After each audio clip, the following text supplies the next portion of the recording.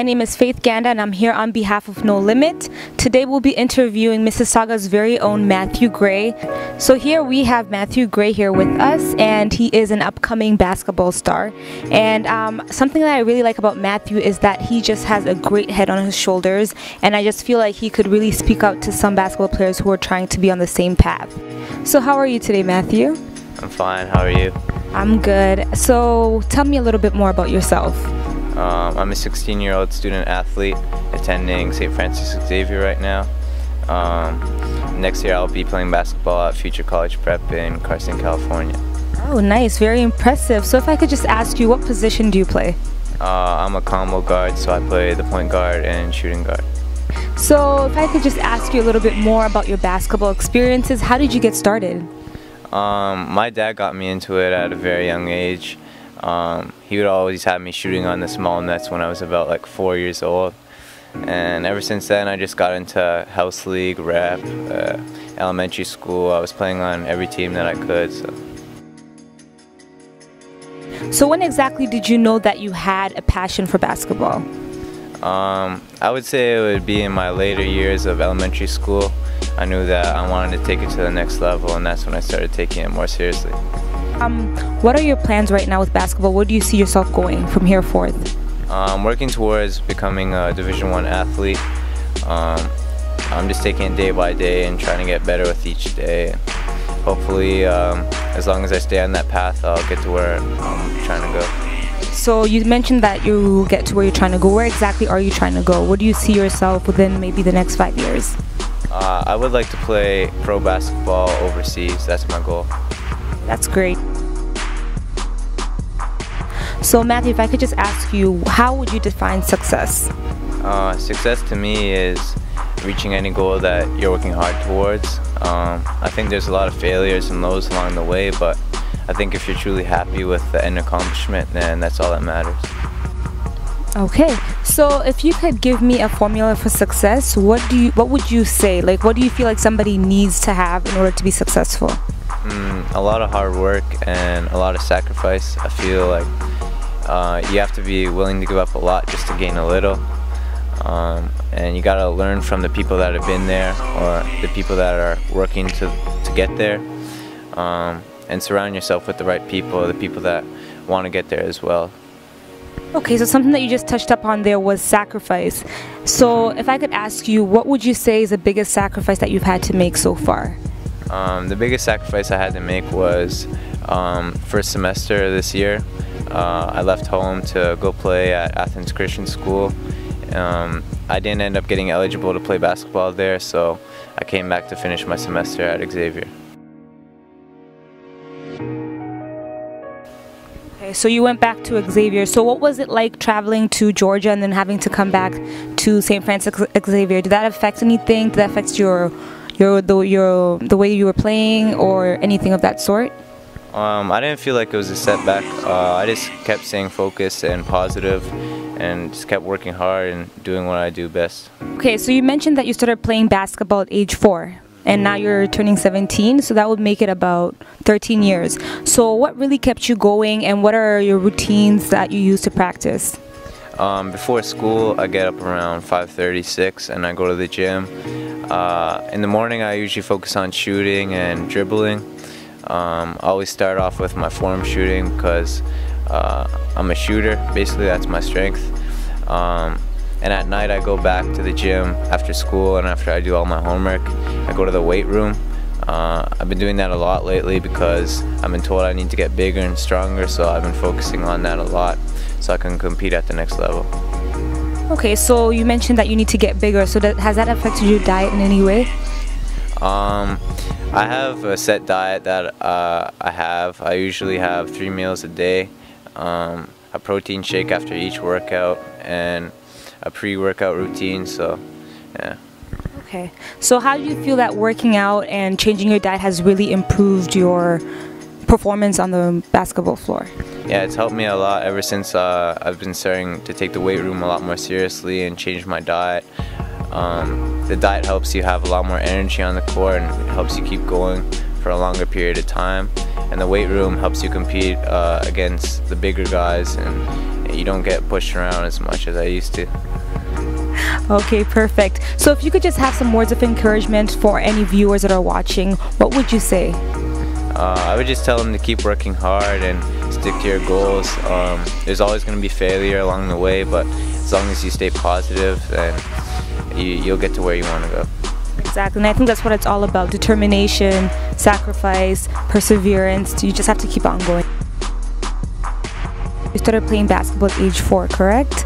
That is quite a young age. So, who really motivated you to get started and to continue with basketball? Uh, definitely my dad. He always had a basketball in my hand, like whenever I could. Um, he always told me that I had the potential to go wherever I wanted to go, and he told me that I could do whatever I put my mind to. So I always believed in that, and he's helped me a lot along the way and kept me motivated to keep going. What would you say was maybe the biggest obstacle or challenge that you had to face? One that could possibly have held you back, but you were able to overcome, and how did you overcome it? Um, I would say it was this year um, down at Athens Christian School when I wasn't eligible to play. Uh, I was really frustrated at the time because I sacrificed a lot to come down there and play basketball, and not being able to play, uh, I felt it was kind of a setback. But when I changed my mindset and uh, stayed positive about it, it helped me get better, improve my game, and I turned a negative into a positive. Perfect. That's great. That's wonderful. okay, so you mentioned some setbacks that you had after going to Athens Christian Prep School. How, what advice would you have to some of our viewers that are considering going over to the States for prep school? Um, I would tell them to make sure they do a lot of research before they rush into the decision. I think with me, um, I got caught up in going down south and playing basketball and um, wanting to go so bad that I just rushed into it. Um, I would tell them that um, make sure you talk to the coaches a lot and make sure you know the rules, the eligibility, and you'll be able to play. Okay, so on a more positive note, how do you feel like that experience really changed you and shaped you into a better basketball player, a better person? Um, well, I was able to, when I was eligible in the summer, I was eligible in the summer before the season started. I was able to compete with uh, some of the best players in the country, and I was able to hold my own when a lot of people said, oh, he's not big enough, he's not athletic enough to do it. I felt like I proved people wrong, and it's just because I believe in myself, believe in my game. Perfect. Thank you, Matthew. Okay, so we would like to get our viewers to get a better understanding of who Matthew Gray is. So what would you say are some of your strengths, weaknesses, and if you do have any weaknesses, how do you feel like you could channel those weaknesses and turn them into strengths to improve your game? Um, my strengths would probably be uh, finding my teammates and getting getting them open, uh, as well as shooting the ball. Um, my weakness is has always been my strength. Um, I've been working on that a lot lately especially getting older, I, I, need to focus on it a lot. So I've been in the weight room every night, uh, working with my strength coach, Jeff Aldham, and he's really helped me a lot. So. Okay, so ever since you hit the weight room, what differences have you noticed in your game? Um, my shot has gotten a lot stronger. Um, I've been able to compete against bigger guys, and yeah. So in greater detail, can you just touch up a bit more on your experience going over to Athens Christian Prep School? Um, it was a great experience. Um, I went down there with my mom. She helped me out a lot. Uh, we had an apartment down there close to the school, and um, I had a peanut. I have a peanut allergy, and Georgia's like the peanut capital of the world. So she would always cook for me and come to all my games, support me. So it was really good having her down there, and uh, it was a different culture, had to get used to it, made new friends, new coaches, something you have to adjust to, so it was different. Wow, I could imagine. Okay, so Matthew, who would you say were some people that really left a mark in your life, people who were influential to you, people who really inspired you, kept you motivated, kept you going? Who were some of those people? Uh, definitely my two trainers, Kyle Julius with A Game Hoops and Jeff Alden with Oakville Hoops they've definitely helped me develop my game and kept me positive and always give me advice when I need it. And I'd say my brothers also. They've also they've always supported me and helped me and they were always there when I needed them. So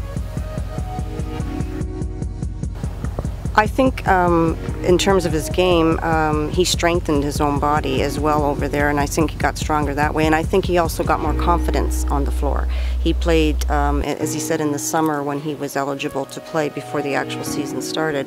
Um, he played against some some number one players down there, and he, as he said, he did hold his own. He's a very good uh, player, and I think his self confidence got even better with that. Um, mental strength, I think, was the biggest thing that he developed, and he came back with a lot more mental strength. Um, you, are in a foreign place. You really have to uh, prove yourself down there, and uh, you you have to you have to be ready for some ridicule. You have to be ready for you know not everyone's going to love you. Not everyone's going to welcome you with open arms. You're in their territory, and you've come down there. So all those things combined, I think he had to learn to to build the mental strength, and then on top of which, when we couldn't get the eligibility, um, I think he felt a letdown in that area. But all those things combined, I think, you know, he just, he had a little, maybe, you know, five minute moping and then pulled his socks up and said, okay, let's get at it. And he got that mental strength. And I think coming back, uh, he came back with a lot more of that and it showed when he was playing on the floor back in Canada. And I think now going down again, he's overcome that. I think he's going to be a lot stronger mentally. And I think that was the greatest, um, I think, jump for him physically he held his own down there and did very well. Um, but I think mentally, I think that might have been the overall purpose for the trip. You know, unbeknownst to us. so.